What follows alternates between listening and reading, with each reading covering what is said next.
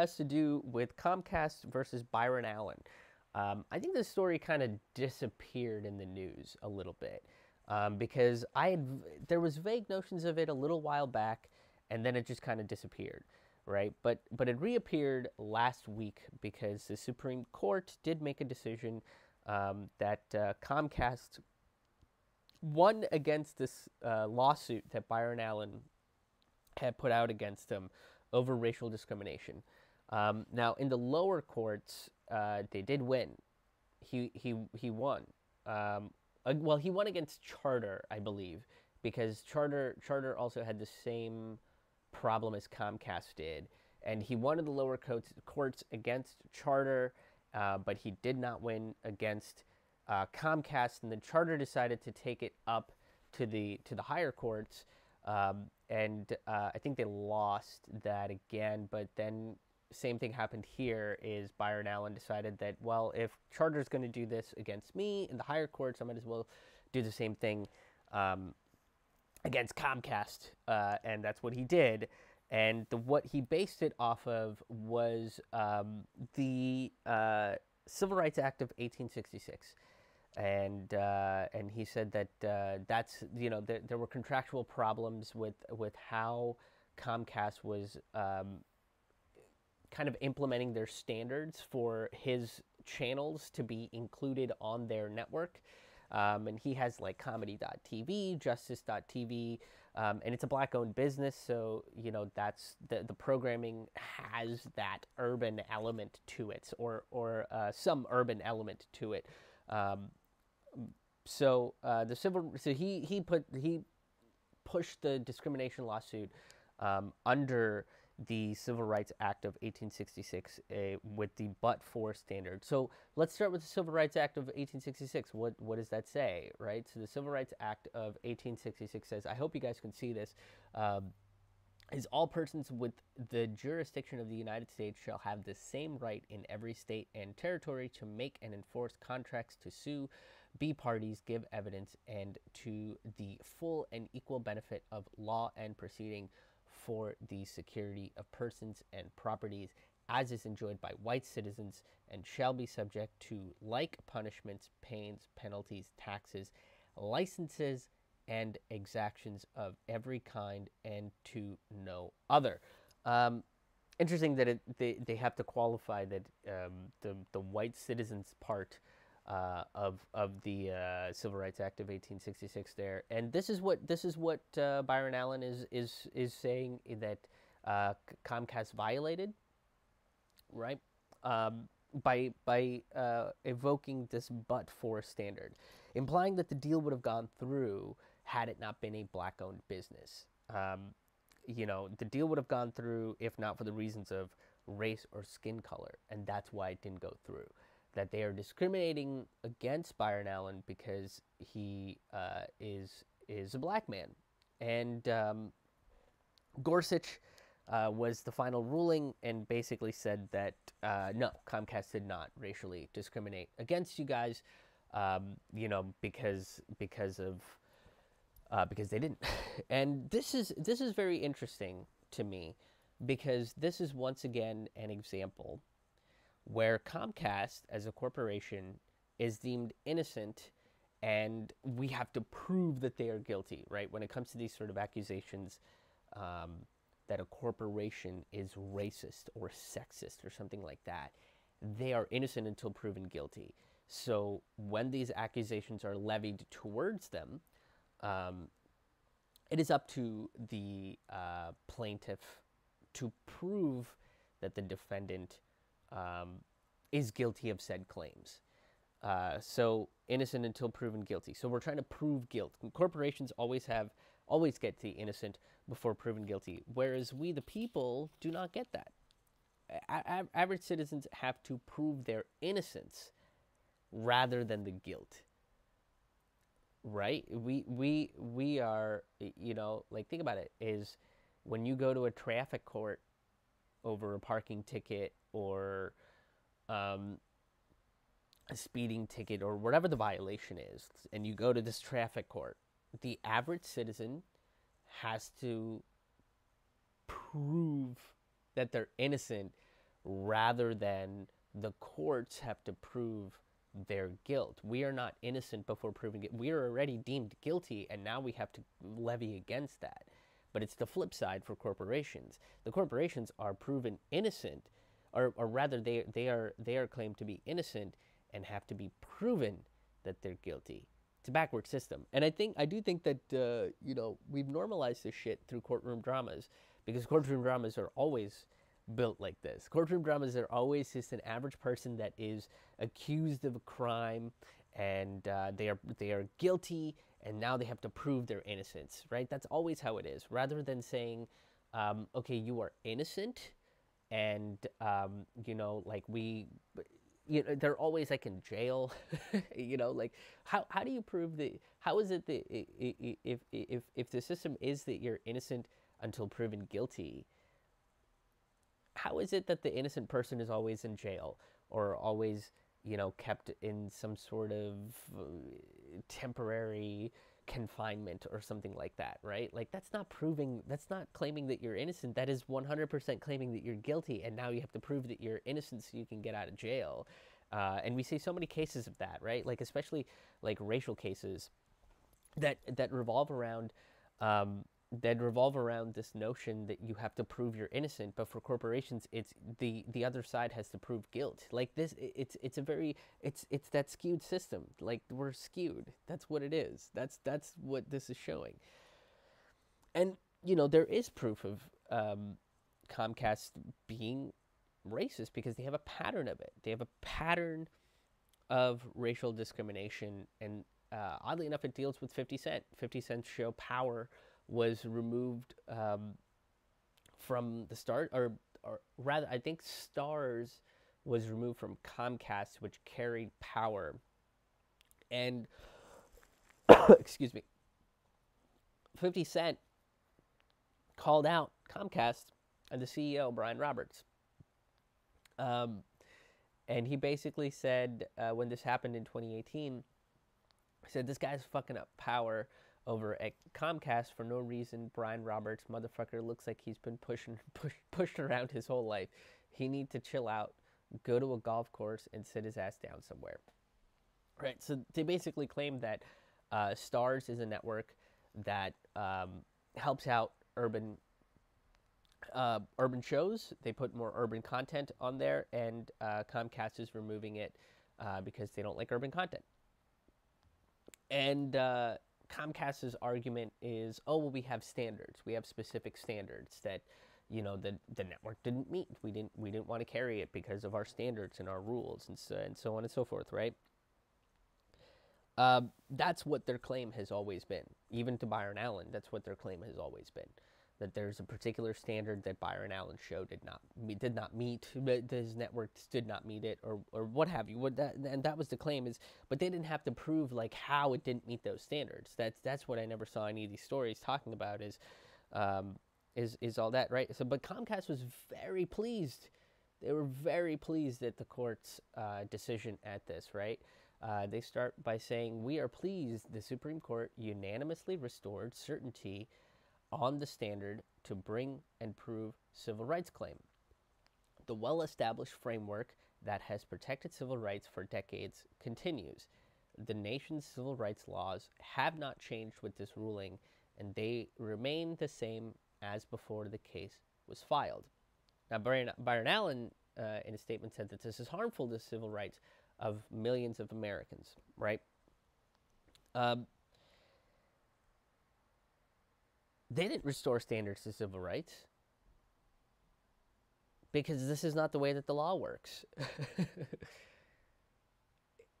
I mean, if they were restored, if, if, if, if civil rights was really restored, then we would be opening up a bunch of other cases where um, people in the minority community, black, brown, women, LGBTQ, all of these minority identities – all these cases would be coming into question where they had to prove their innocence and not the fact that they were guilty right the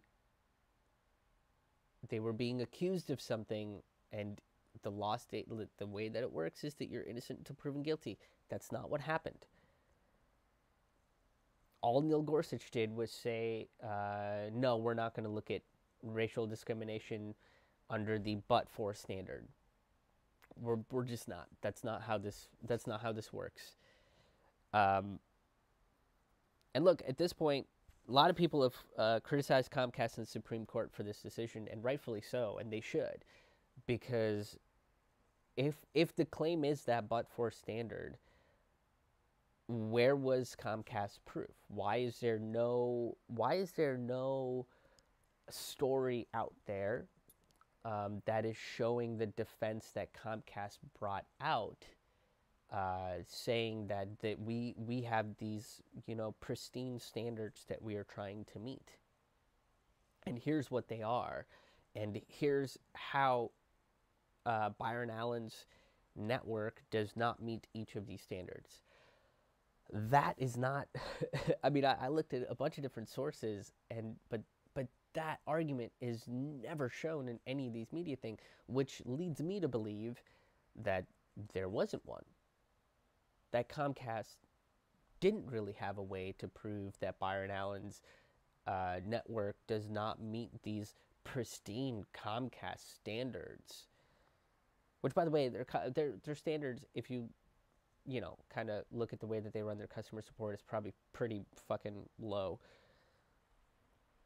and raises a factor for contract negotiations, right? Um, right now, the way that they, they say it is uh, look, everything up till that final signing is totally fine and totally legal and within the rights of the company to do in terms of racial discrimination. Like, they don't consider it racial discrimination. Um, if, if you are racist and you practice things that would be considered racist up till that final point of signing right? And uh, our, our RBG Ruth, Ruth Bader Ginsburg uh, was the only person that uh, said anything in a rebuttal uh, against this ruling. She she penned a rebuttal, right? Why why she was against it, and and one of the statements that she made in there was, thus a lender would not violate the law by requiring prospective borrowers to provide one reference letter if they are white and five if they are black nor would an employer violate the law by reimbursing expenses for white interviewees but requiring black applicants to pay their own way.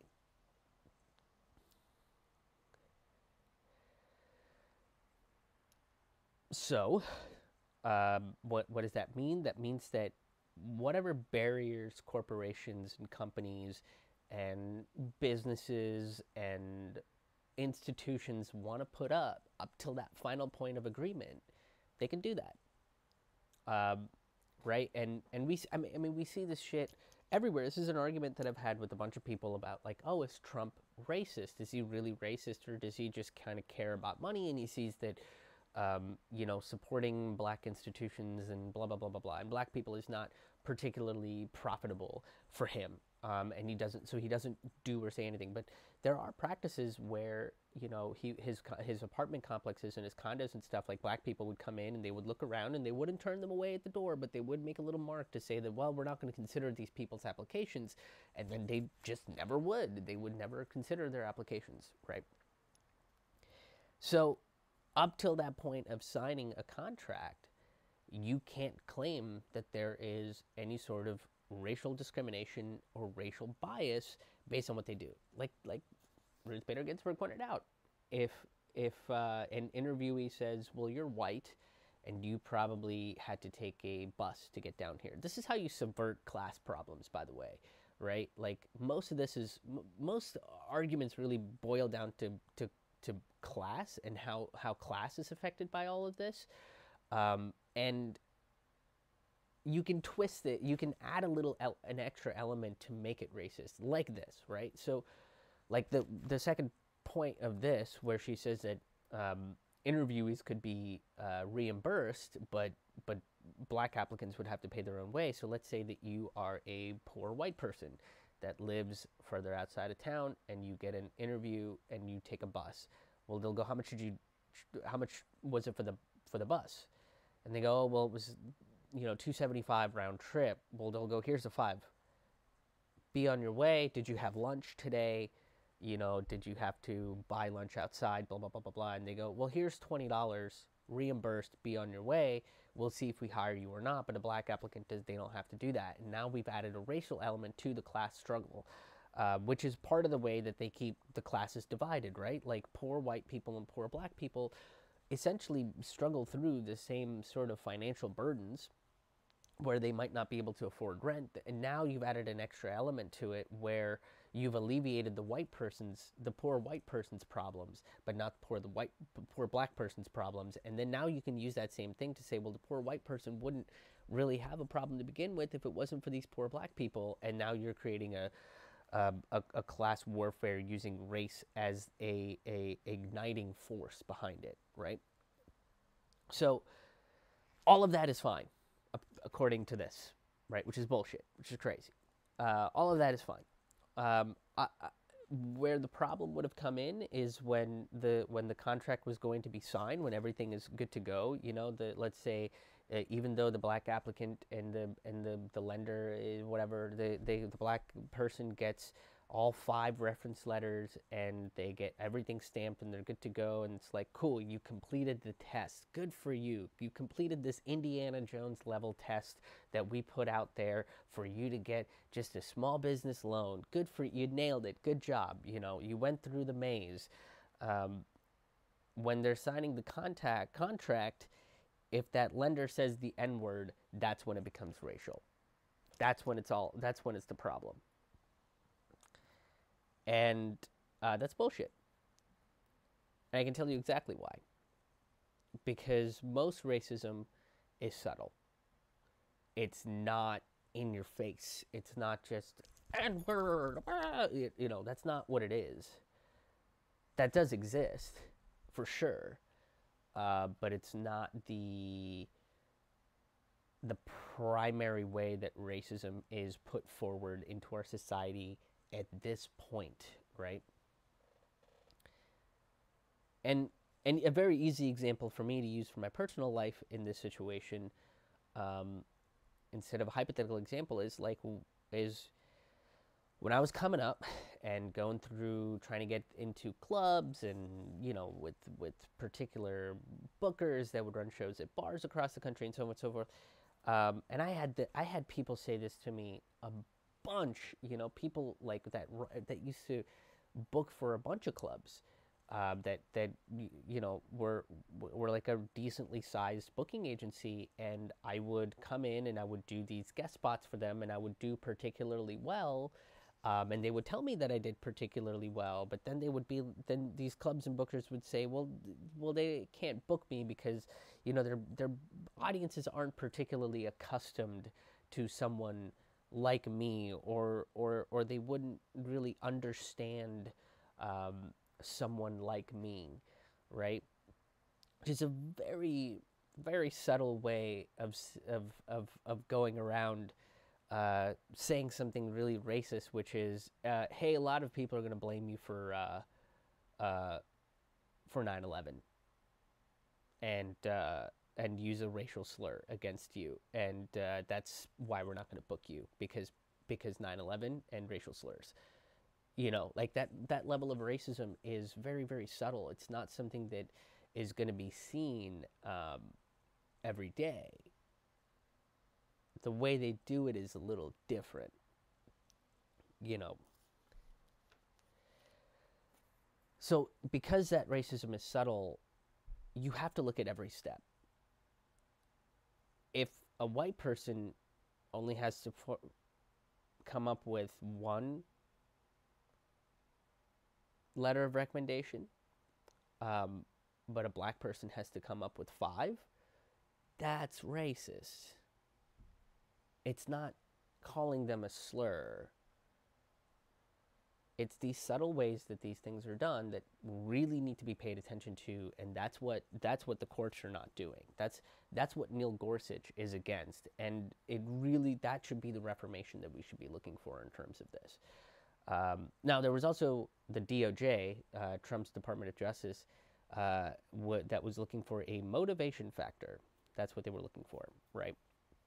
looking for a motivation factor. And, and if we remember from last week, we did cover how the Department of Justice is pretty much putting a moratorium on habeas corpus. So if this case would not have been determined and pushed through and and you know been a victory for Comcast or anything, I think we would have probably seen this thing uh, be put into put into limbo, right? But but and it would have left Comcast to be in limbo, and that's a gray area. And for an all-white company, you know, with that pristine rule of standard, oof, that's a tough spot to be in.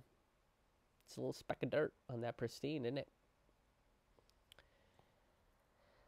So, what was what was Comcast's real reason for not letting Byron Allen's channels on their platform?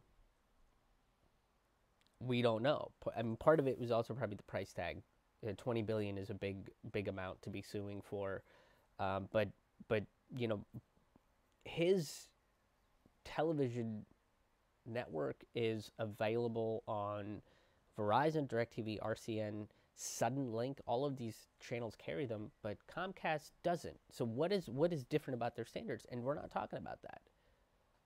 And until I mean that I mean that's the way that the law works is they don't have to prove that. They just didn't have to prove that. They didn't have to prove their level of standards. But Byron Allen had to prove what they did was racist, and they said no, it's not because they didn't say the N word during the during the proceedings, so it's not. You know, but they did, but they did deny black-owned businesses. They do take off urban channels off their network, but that's fine.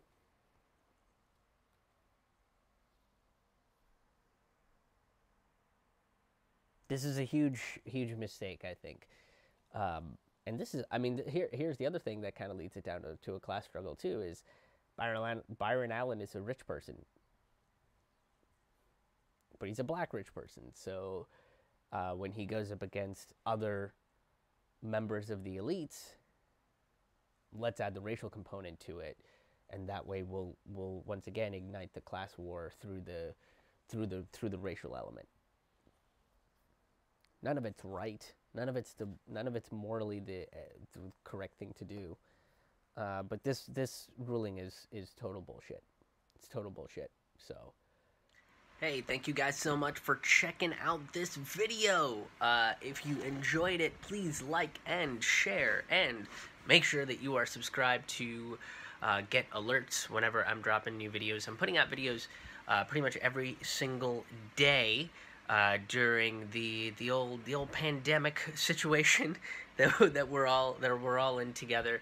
Uh, so make sure that you guys are, um, you know, like, share, subscribe. Make sure that you guys are getting notifications, um, and uh, and and keep up to date with all this stuff. Um, uh, what else did I? I don't have any live stand-up comedy dates to let you guys know about. I normally would, but right now uh, they are all on hiatus. So um, the best way to to help is with the with the sharing and making sure that you're subscribed and stuff. But uh, if you have the means to and you can donate uh, you can donate over at ramannoodlescomedy.com slash donate. You can make a one-time donation or you can become a sustaining member uh, whatever you are able to do. But it is it is absolutely uh, not mandatory. It is a uh, extra sense of appreciation uh, for all the content that will be coming out. All of my content will be available uh, for free for you guys to view and enjoy. Uh, make sure you guys are taking care of each other. Make sure you're being good to each other. And uh, till the next one, we'll see you on the road. Thanks, guys.